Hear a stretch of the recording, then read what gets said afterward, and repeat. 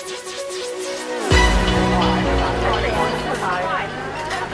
gotta ask for an ungodly amount of ketchup here. Yeah, like it's insane how much ketchup you have to ask for. It's so different than the United States.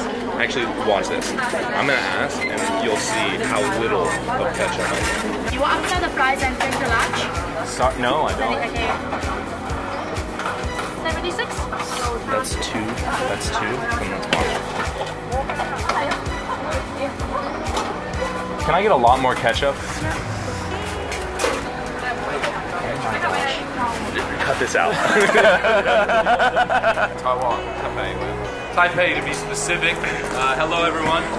My name's Connor. I'd like to introduce myself. Uh, we're currently on an escalator just walking and uh, as you can see we have different types of bags. Patrick carried uh, like he's a grandma.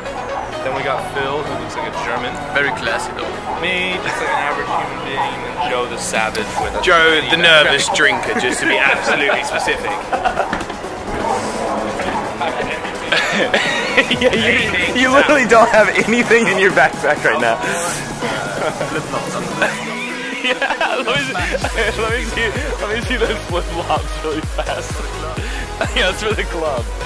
Oh my god.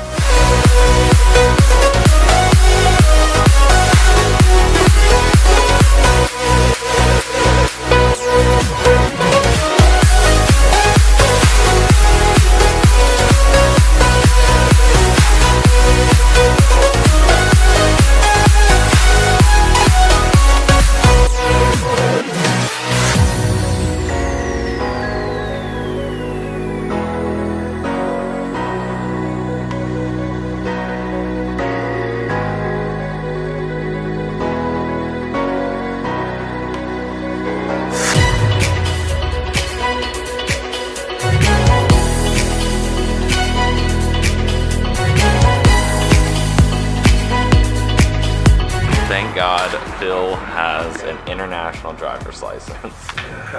Look at his face. Zoom in on that face. that is the face of our savior.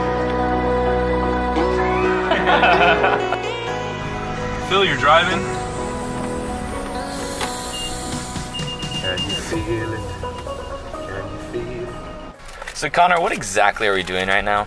All right, so we have uh, actually just rented a car, and uh, in Taiwan, it was a very spontaneous thing. Planned it actually this morning, and we're going to the third, fourth, fifth, sixth, depending on which which ranking you look at, uh, most dangerous festival in the world today, and then tomorrow we go to the, one of the most beautiful festivals. It's a road trip through all of Taiwan. It's gonna be nuts, but we gotta focus now because Phil hasn't driven in six months.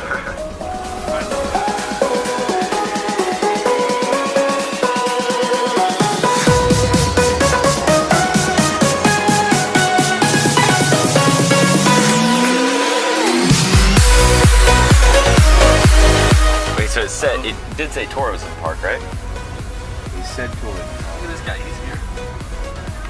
Oh, I think it's like a Higher Museum sales centre. What is this place?